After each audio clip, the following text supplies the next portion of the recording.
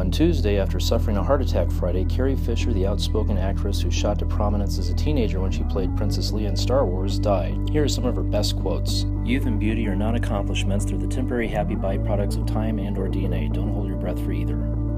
Sometimes I think all I want to find is a mean guy, make him be nice to me, or maybe a nice guy who's a little bit mean to me, but they're usually too nice too soon or too mean too long. It was Han and Leia during the week and Carrie and Harrison during the weekend. Princess Diarist, talking about her affair with Star Wars co-star Harrison Ford. I shot through my 20s like a luminous thread through a dark needle blazing towards my destination, nowhere.